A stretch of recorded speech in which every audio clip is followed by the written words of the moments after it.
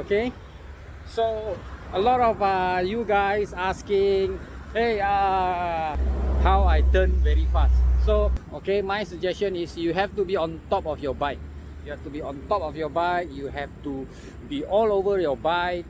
Uh, your body position sway from side to side all right sway from side to side. How do you sway from side to side? Okay later I will show you how I uh, practice throughout the years uh, to uh, put myself okay on top of the bike regardless of what bike you ride okay? The basic the technique is all the same okay? So that is the one. That pavement okay year in year out okay? Month in month out day in day out week in week out. Wow there's a lot of week there's a lot of out and in okay? I practice those okay? You have the grating over here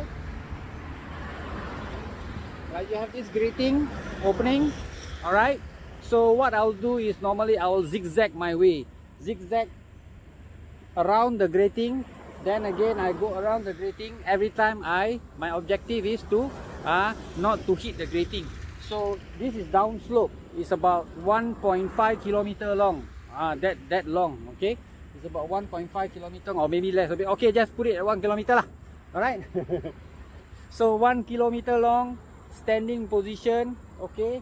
You you you you lean your bike to the left you lean back bike to the right then you lean back to the left avoiding the grating all right then you lean back to the right and so on and so forth all right so that is the way how you uh, improve your bike handling.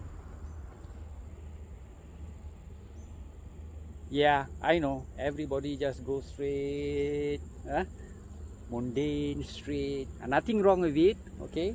Safe sound chill relax. But if you want to have some adventure some uh, uh, improvement in your daily weekly uh, cycling uh, you take some uh, risk. Just a little bit over the envelope. Right? So that's two rider pass by all the way to the traffic light leading into the trail 15 track 15 trailhead what trail 15 there's no trail 315 there's track 15 i will do the zigzag all the way down. To give you an example uh, what i meant just now by leaning your bike. You lean your bike to the right or left but your body position is almost level.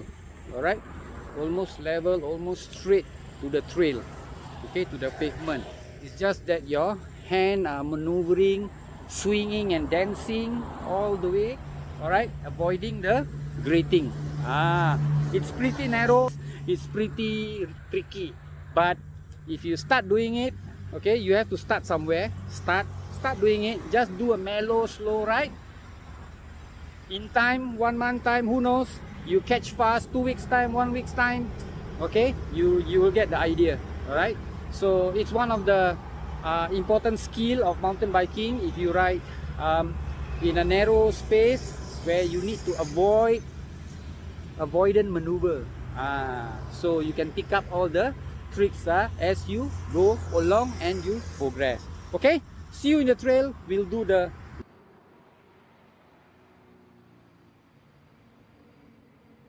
Uh, lower down your post what you'll do is stand up in a balance mode okay? Move your bike like this. Move your bike. Body position still stable. That is how uh, i practice um, my uh, bike control body position navigate in a narrow path. So uh, in effect you will improve your cycling ability okay you improve your cycling ability. Hi buddy. Okay nothing wrong going straight down uh, taking in air. So since you're uh, already at it since you're already passing here give it a go. Lower the seat. Have sufficient place.